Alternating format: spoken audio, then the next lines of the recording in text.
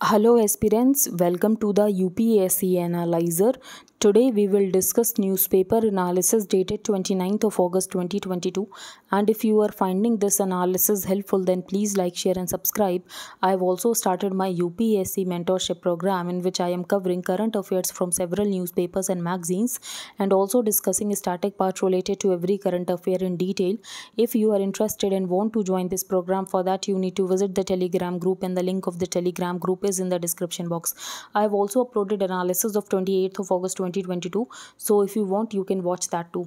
First page पर सिर्फ़ एक न्यूज़ इंपॉर्टेंट है new virus behind mystery dwarfing of rice तो हमने डिस्कस किया था कि राइस में स्टंटिंग देखने को मिल रही है।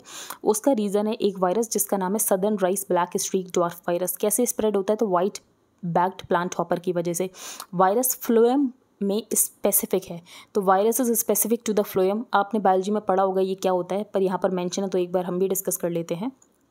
Plant tissues that transport sugar and organic nutrients from the leaves to other parts.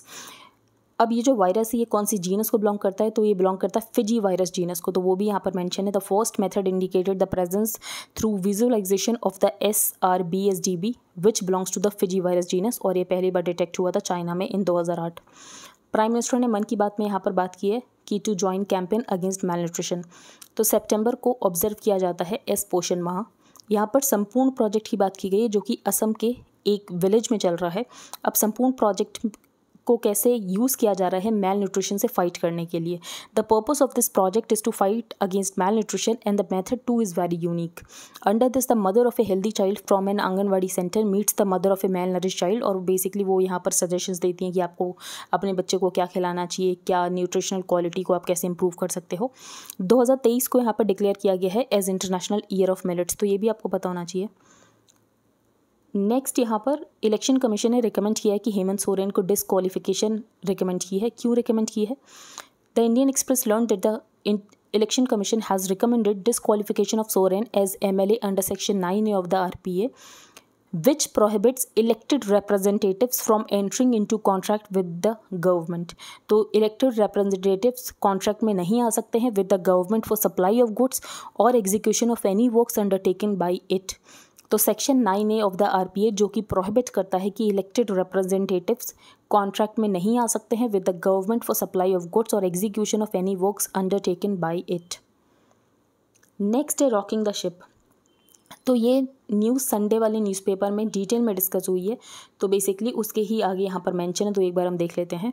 तो चाइनीज़ एम्बेसडर टू श्रीलंका उन्होंने ये कहा था कि जो श्रीलंका का नॉर्दर नेबर है उन्होंने श्रीलंका के ऊपर सेवनटीन टाइम्स एग्रेशन किया है। तो बेसिकली वो इंडिया के लिए यहाँ पर रेफ़र कर रहे थे कि इंडिया ने श्रीलंका के ऊपर सेवनटीन टाइम्स एग्रेशन किया है। The war of words between the Chinese ambassador and the Indian high commission in Colombo over the Yuan Wang episode shows the India China relationship in an unseemly light in a third country it puts host Sri Lanka already in a tough place अभी श्रीलंका की condition ऐसी है ऐसी है कि श्रीलंका को support की ज़रूरत है। लेकिन बेजिंग इसमें भी यहाँ पर डिप्लोमेसी करने की कोशिश कर रहा है।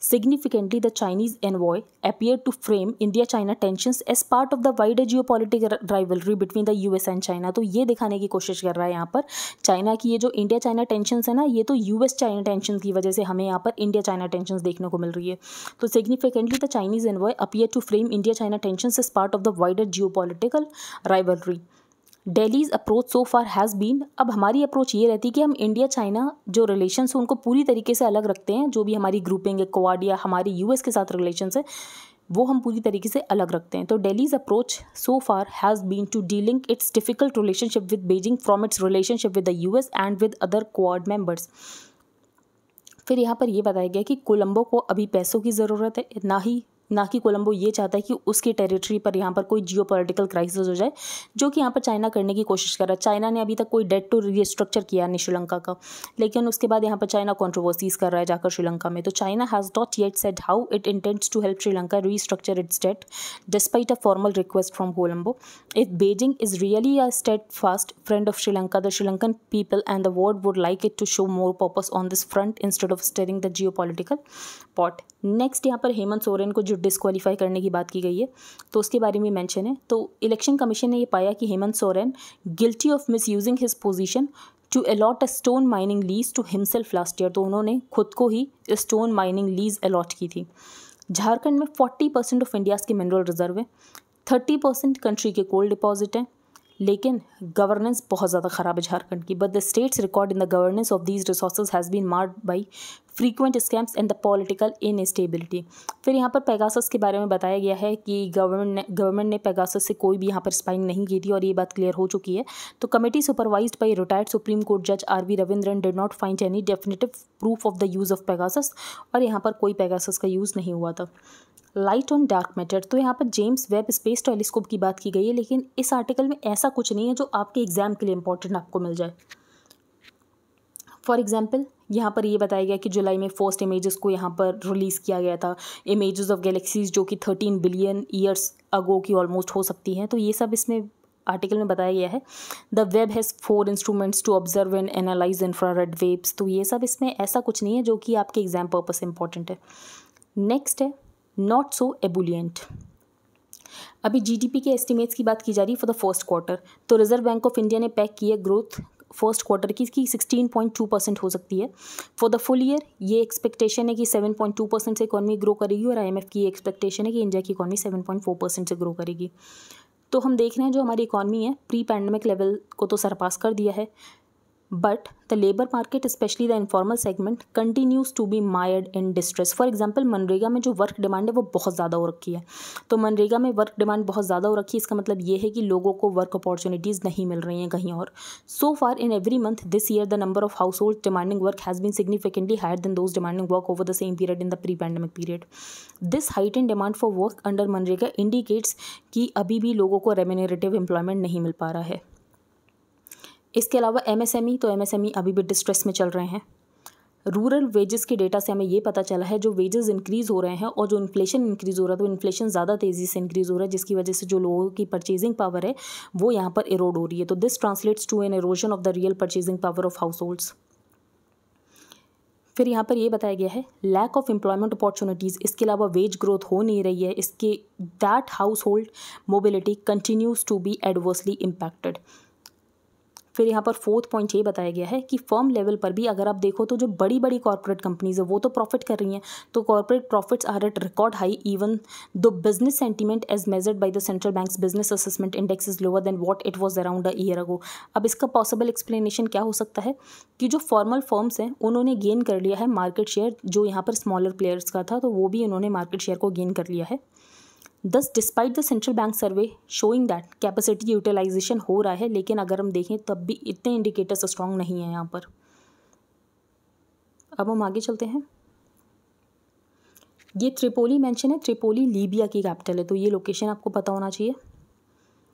अब यहाँ पर जो नासा है तो नासा का एक मिशन है आर्टेमिस मिशन तो आर्टेमिस मिशन मून के लिए है, और नासा यहाँ पर मून पर भेजेगा the first women and the first person of colour on the moon today's programme Artemis was named so during the Trump अब यहाँ पर आर्टेमिस नाम इसका क्यों रखा गया? ये हम डिस्कस नहीं करेंगे, लेकिन इसमें क्वेश्चन ये किया गया है कि अगर आप एक बार मून पर जा चुके हो तो आप दोबारा मून पर क्यों भेज रहे हो? For Mars and more why NASA is again sending astronauts to the moon Pakistan monster monsoon तो पाकिस्तान में बहुत ज़्यादा फ्लड आ गई, बहुत सारे लोगों की डेथ हो गई है। तो while Europe China and some other regions of the world वहाँ पर आपको ड्रॉट देखने को मिल रहा है। पाकिस्तान में फ्लड्स देखने को मिल रही है and the worst floods in its recent history report से about one one zero of the one fifty districts in the Pakistan are affected by the flooding और यहाँ पर जो फ्लडिंग रिज़ल्ट है, वो रिज़ल्ट है अनयूजली वेट मानसून का।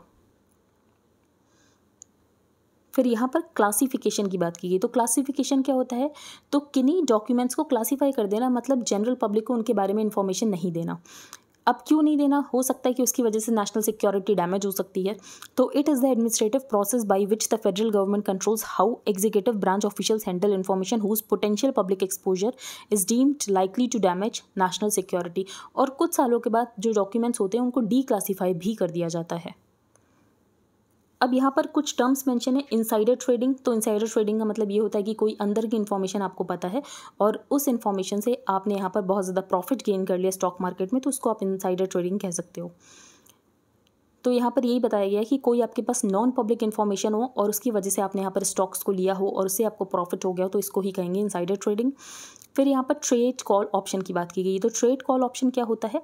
ये फाइनेंशियल कॉन्ट्रैक्ट होते हैं जो कि बायर को राइट right तो देते हैं, लेकिन बायर के ऊपर कोई ऑब्लिगेशन नहीं होती है टू बाई और सेल सर्टेन स्टॉक्स तो ये आपको टर्म पता होना चाहिए trade call option let buy base effect and services pickup अब जो जीडीपी ग्रोथ है क्वार्टर वन की तो यहाँ पर आरबीआई ने एस्टीमेट लगाया सिक्सटीन पॉइंट टू परसेंट अब इतनी ज़्यादा एस्टीमेट इसीलिए लगाया गया और इतनी ज़्यादा ग्रोथ कैसे हो सकती है? बेसिकली डबल डिजिट तो होगी होगी। तो पहला रीज़न तो है लो बेस इफ़ेक्ट ठीक है लो बेस इफ़ेक्ट का मतलब ये है कि पहले आपकी ग्रोथ जो है वो इतनी कम हो गई है, जिसकी वजह से अगर आपकी थोड़ी ग्रोथ भी बढ़ी है तो वो बहुत ज़्यादा लगेगी। और दूसरी बात सर्विसेज़ सच में पिकअप हुए हैं, जिसकी वजह से हमारी जो ग्रोथ है वो इंक्रीज़ हुई है। तो India's economy is estimated to have grown in double digits in April June the first quarter of physical year of twenty twenty two twenty three in ICRA's assessment there has been a shift in demand towards contact intensive services और यहाँ पर contact intensive services भी grow हो रही हैं। I hope आपको सब कुछ क्लियर हो गया हो. If you like the video then please like share and subscribe thank you and a nice day